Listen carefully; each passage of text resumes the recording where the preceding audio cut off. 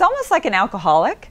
You know, they say, if they said, I'm never going to have another drink in my whole life, there's no way an alcoholic could stick with it. But they sort of say, uh, just for today, I'm not going to have a drink. And so that's what I, I did. I said, just for today, I'm not going to eat anything from an animal. Might tomorrow, certainly. Might, might crave that steak, you know, the day after tomorrow. I'm not going to tell myself I'm never going to eat any meat again.